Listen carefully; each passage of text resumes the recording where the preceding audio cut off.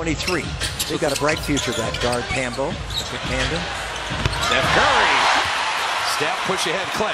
It's a low pass that he catches, reverses up and in. Now this pass by Curry, sometimes that ball will skid. Sometimes you let it get away from you. But nice finish. He's got to play the other end.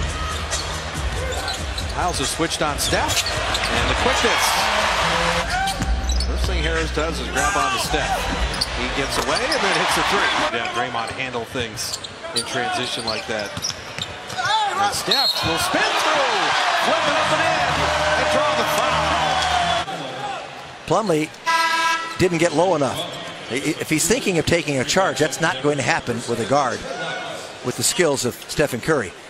Plumlee should have taken a step backwards when he saw him coming and stand right in front of the rim. Steph springs free. 21 and 18.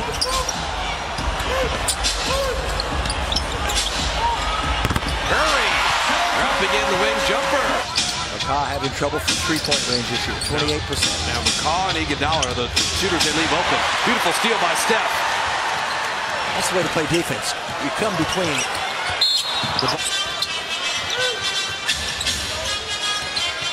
Warriors are going to have to play better. Steph that was the made up for it with a three after he, he stole that one. Steph, a deep three. Shot of the game. Steph Curry from really deep. Have a little fun with that. That was beyond the half mark. Off the dribble. Or two points is just as good as three. It was guaranteed. And Steph, speaking of guaranteed.